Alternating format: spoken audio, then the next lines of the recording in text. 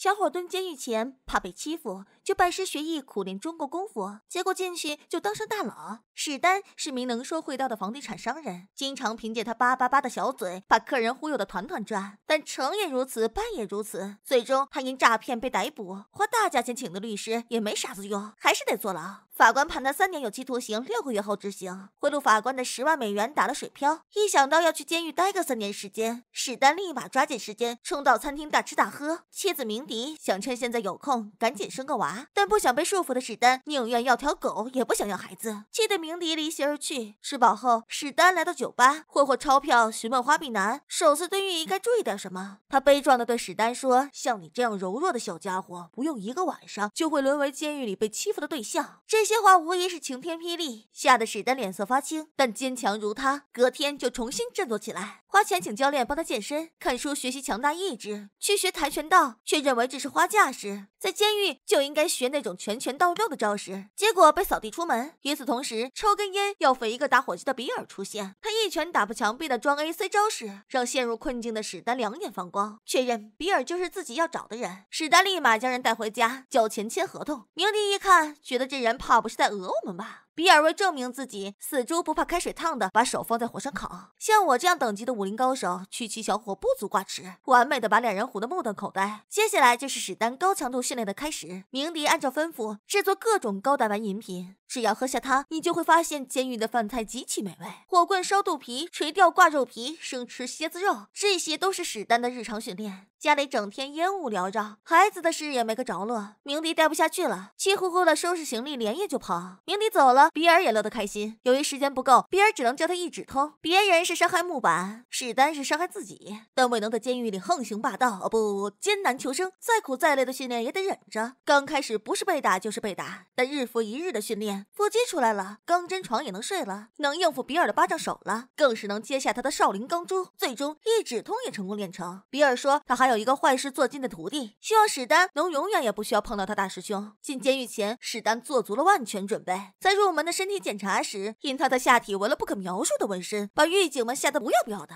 狱友短裤是常住居民，俗称百事通。他把里面最不能惹的大佬给史丹一一介绍，有黑人帮的老大钻石，墨西哥帮的大佬尼托，最最见人就要跑的就是高个雷蒙。狱友叨叨说：“你惹谁都好，就是不能惹他，行吧？那就拿他下手。”嘿，哥们儿，放开那个男孩，冲我来！雷蒙虽说是监狱一哥，但块头再大也打不过学功夫的史丹。一招四两拨千斤，就把雷蒙的手指掰弯，疼得他痛哭流涕，哀嚎声传遍整个监狱。其他大佬见状，就想邀请史丹加入帮派，但他油盐不进，想借此机会让所有人都不敢惹他。抄起双棍就把大伙打得落花流水，钻石更是被打得满地找金牙。史丹一战成名，没人敢惹他，就连典狱长都要找他谈话，请他抽雪茄、喝好酒，无事。献殷勤，非奸即盗。典狱长想铲平监狱，让史丹帮他发展房地产事业。事成之后，承诺一年内放他出狱。丰厚的条件让史丹当即答应下来。回去后，开始查阅相关资料。狱友和史丹说了一件让他抱憾终身的故事，那就是没有好好珍惜他和小美的爱情。一锅新鲜出炉的心灵鸡汤触动了史丹内心，于是立马写信给妻子鸣笛，表示你是我这辈子最爱的女人。如果还愿意的话，等出狱了，咱俩就生个娃吧。看到信的鸣笛很是感动，但史丹不知道的是。这段时间都是比尔在家照顾的，鸣笛全然不知自己头顶一片绿油油。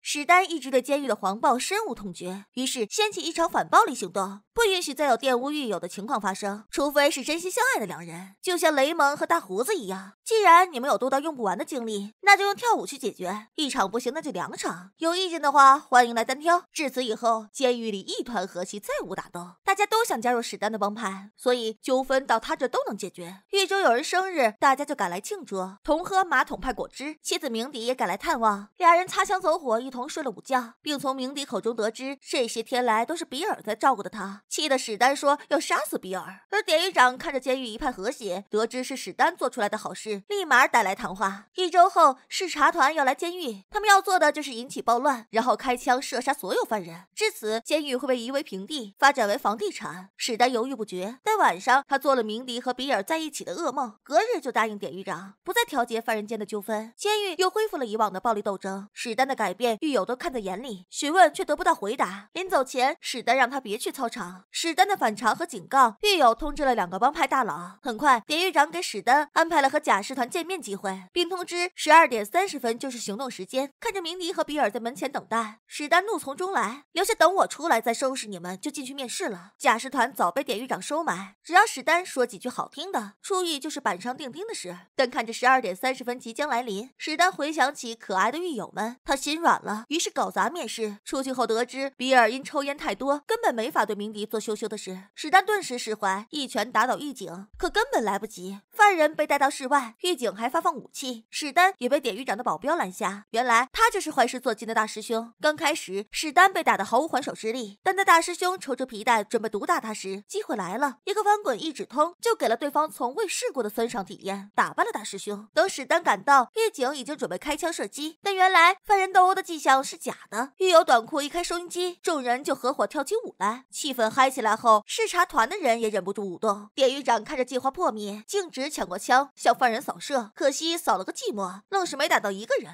又转身对付史丹，幸好比尔来得及时，用少林钢珠远程对付典狱长。风波过去，三年的时间转瞬即逝，史丹将功夫传遍众狱友，典狱长也成了犯人一伙。到史丹出狱的那天，大伙不舍得向他告别，史丹的小女儿也来迎接他，从此一家四口过上了幸福快乐的日子。好了，这就是今天萌妹带来的影片《狱中豪杰》，我们下次再见。